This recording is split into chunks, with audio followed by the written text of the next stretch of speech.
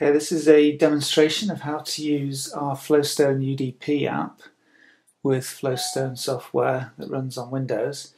Got the iPad set up here next to FlowStone which is running a little demonstration program. Um, so I'm going to run up FlowStone UDP. Okay, so the app launches.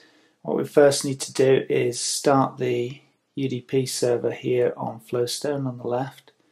So all I do is click this little button here and it's giving me the IP address 192.168.146. So I just need to change that on my FlowStone UDP app. And we'll see the little connection light comes on. And we're now connected. And now if I move this slider, you can see the slider moves in FlowStone as well move this one as well. And again, and then if I kind of switch any of the switches, the lights go on as well.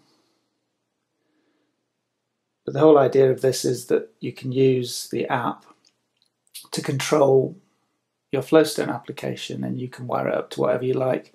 And it works both ways as well. If I, if I move these sliders, I can send data across to the the little meter readouts here. And I can change the LEDs at the top, for example. Or I can send some text, which appears here. And that's basically it then. Um, the app's used as a remote control for FlowStone for sending data backwards and forwards.